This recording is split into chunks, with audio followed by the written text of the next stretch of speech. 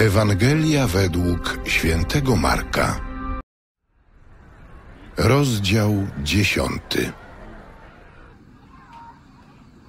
Przynosili mu również dzieci, żeby ich dotknął. Lecz uczniowie szorstko zabraniali im tego.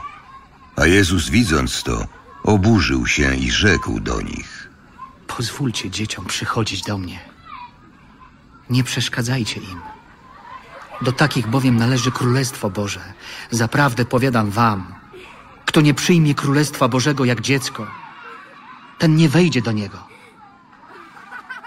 I biorąc je w objęcia, kładł na nie ręce i błogosławił je.